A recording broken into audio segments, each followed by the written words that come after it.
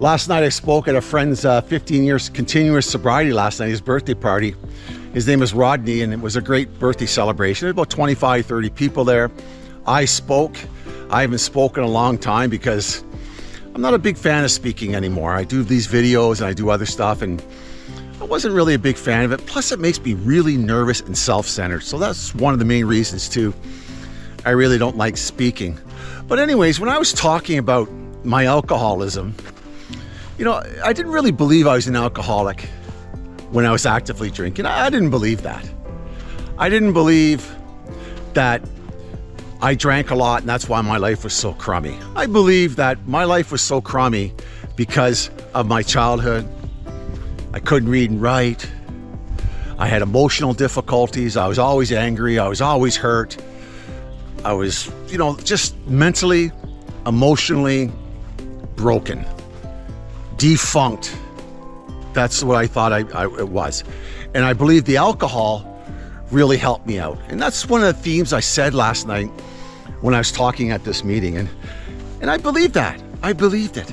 If it wasn't for the alcohol, I wouldn't have survived it all. And maybe so. Maybe the alcohol did help me in some ways. You know, maybe, you know, maybe stop me from committing suicide or something. Who, who knows, right?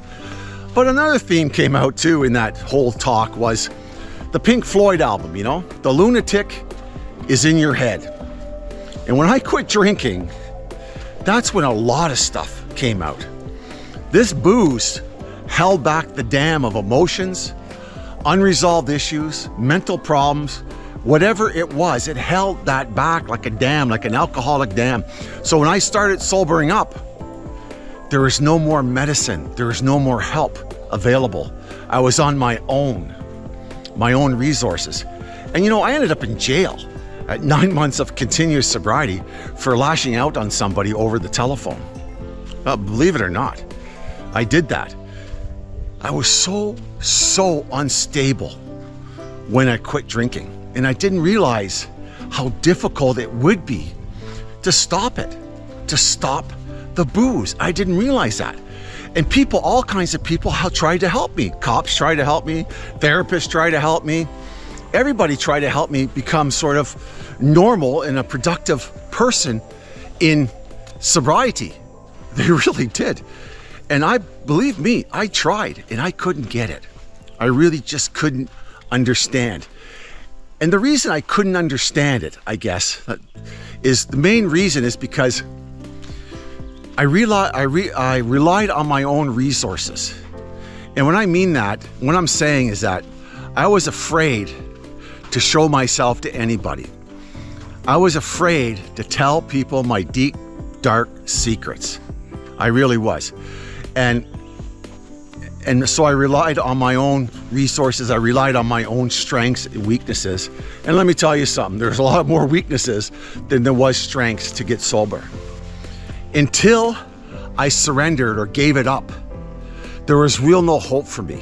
There was real no hope for me of ever recovering or getting some sort of stable life emotionally and mentally in my one day at a times in sobriety. There was nothing, okay? I was going to meetings, I was doing all the right things physically, but when it came to emotional and mental things, I wasn't doing all the right things. And this is only my story, right? And I became over time slowly more irritable and more discontent in my sobriety. So, what I'm trying to tell you is this Alcoholics Anonymous, it taught me how to live. And Alcoholics Anonymous is basically about that.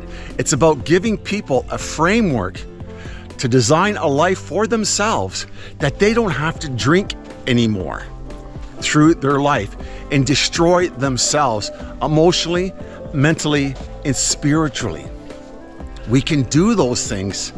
We can live our lives one day at a time, full, and get all the gifts that regular people get. You know, our, our lives, our emotional difficulties are not uncommon. Regular people have them. It's just that we can't go through life drinking. We can't drink. We have a stressful day, we can't have a drink or a toke or a drug. We can't do that kind of stuff. We have to sort it out by ourselves or through the group or through a sponsor and deal with the stress and deal with that. Because if we drink, we reactivate the disease of alcoholism and we may never come back. We may never come back. But we are not as unique as we think. We only think it because that's the way we think, right? Alcoholics always think they even got their own way of thinking, but we don't. We're just regular people who have the disease of alcoholism that need to reach out and find a way of living our lives one day at a time sober, without drinking, without destroying ourselves, without tearing down the house of cards or what we build in our lives. And how do we do that? Well, how I'll tell you how I did it. I did it through sponsorship, working the steps of Alcoholics Anonymous, working the traditions, finding a higher power, getting active in my life, and understanding that life is difficult for everybody. Just because I'm an alcoholic, it doesn't mean life is going to be easier for me, especially at the beginning. It can be very hard at the beginning because we have to clean up the wreckage of the past. We have to sort ourselves out. There's a lot of work to do, especially the first three to five years, sort of thing. Maybe it's less for some people. There's a lot to do. But after that, it gets pretty normal. It gets pretty normal. It becomes second nature how to respond to the world around us. The unmanageability in our lives the, comes from our emotional and mental state. We need to understand that and keep that at bay and find ways organically to soothe those problems. And the best way to do it is to let it go, talk to somebody, help somebody, turn it over to a God of your understanding, and understand that whatever comes up in your life, that you do not have to drink. This too will pass.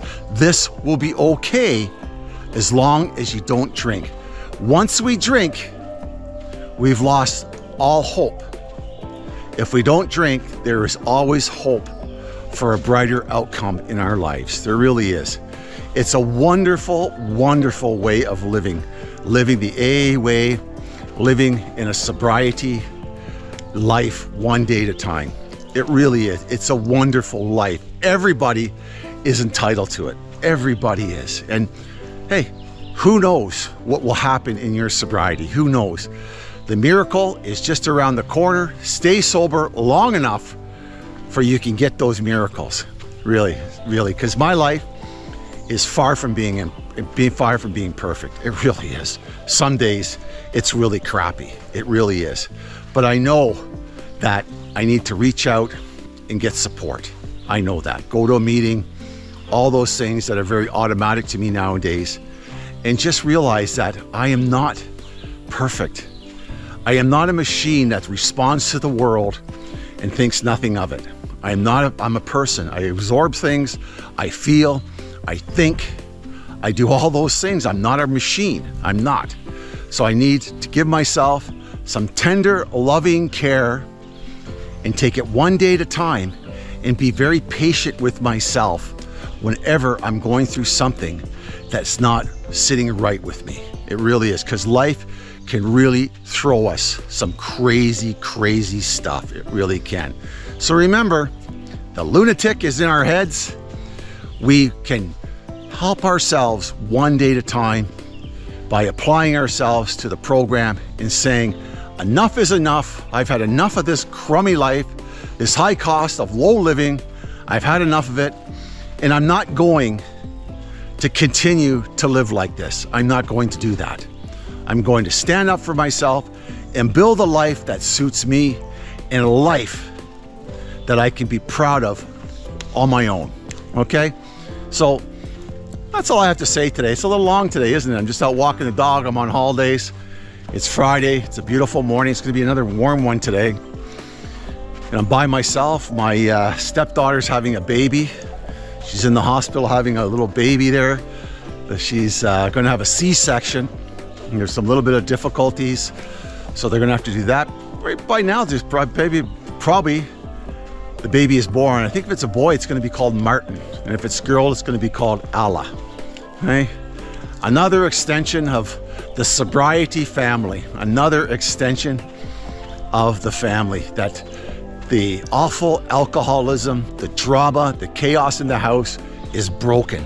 The kids who come up now can live a joyous and free life just like their parents are doing. Isn't that wonderful? It really is, isn't it? It's terrific.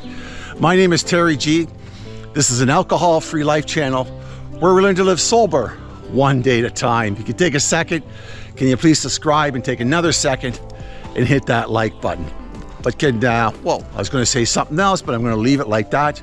Just remember, sobriety is freedom. It's freedom, people.